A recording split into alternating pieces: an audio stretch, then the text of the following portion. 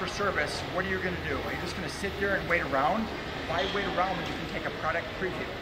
So what they've done here is they pulled out their core cars, and as you guys can see, we have the Accord, we have the CRV, the Odyssey, and the Pilot. And while you're waiting for your car, you can very quickly jump in the car with a salesman, go take a ride.